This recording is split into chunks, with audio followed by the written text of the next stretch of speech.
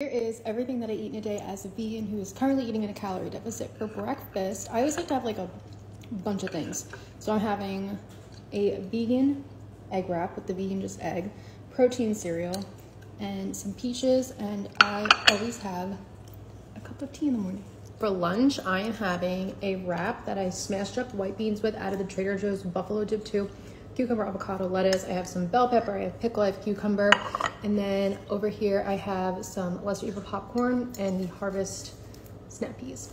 I don't snack too much. I'm having a cup of tea, but I had a few handfuls of this Lesser Evil popcorn for lunch and this is like one of those Marshalls brand snacks. It's dinner time. So I have a plate here that has, we have the sriracha baked tofu from Trader Joe's, string beans, broccoli, and then I found the 647 English muffins. So I made little English muffin pizzas. And I'm excited to eat this. For my last and final meal of the